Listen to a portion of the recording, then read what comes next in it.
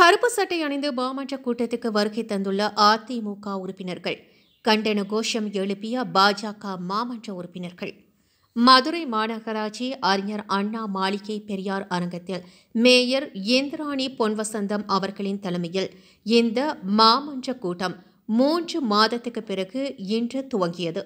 இந்நிலையில் அதிமுக மாமன்ற உறுப்பினர்கள் அனைவரும் கருப்பு உடை அணிந்து வருகை புரிந்த நிலையில் மாமன்ற கூட்டத்தில் பாஜகவின் ஒரே மாமன்ற உறுப்பினர் போமா கள்ளக்குறிஞ்சி கள்ளசாராயம் சாவுக்கு மதுரை மாநகராட்சி மேயருக்கு எதிராக கண்டன கோஷம் எழுப்பினார். இதில் திமுக மாமன்ற உறுப்பினர்கள் இடையே சிறு சலசலப்பு ஏற்பட்டது. பாஜக மாமன்ற உறுப்பினர் பூமாதேவி வெளிநடப்பு செய்தார். இதனால் மதுரை மாநகராட்சி மாமன்ற கூட்டத்தில் பெரும் பரபரப்பு ஏற்பட்டது.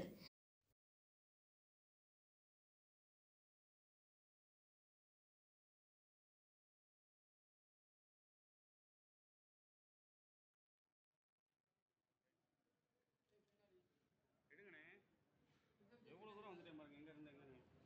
மட்டும்தான் எல்லாருக்கும் தெரியும்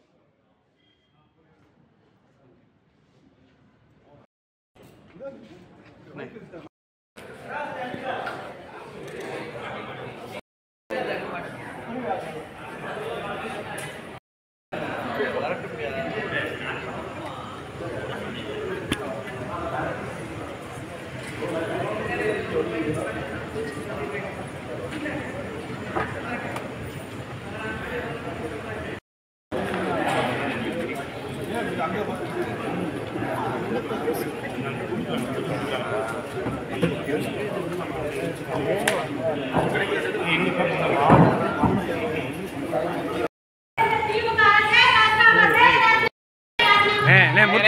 மூர்த்தினே மூர்த்தினே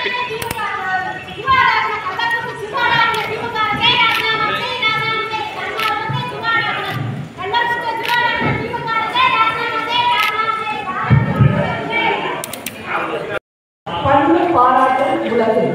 நீதியையும் அறத்தையும் திரும்பி பிறருக்கு பயன்பட வாழும் பெரியவர்களின்